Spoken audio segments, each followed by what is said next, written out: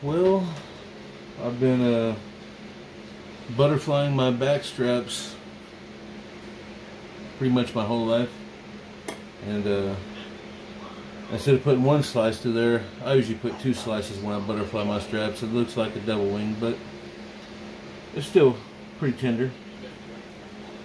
Instead of running one strip right down the middle, I'll offset it and I'll just run two. That way everything gets up in here, all your seasonings and everything get up in there real good. And then uh, what I'll do is I'll just cut the steak up here.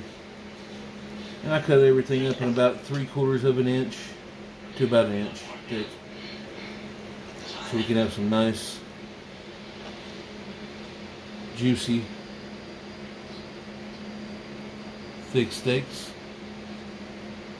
And we do a something my dad calls a dip and flip. We'll put our seasonings in there with our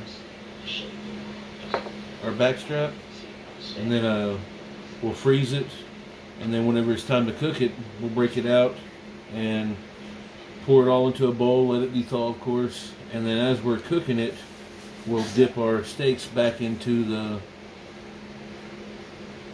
to our little mixture that we had all the way up to about the very end, you know, just keep the juice inside it.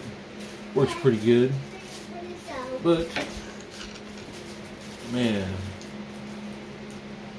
kind of hard to beat. Thick, juicy steaks. Do what, love? Yes, love. Give me a few minutes. I will help you.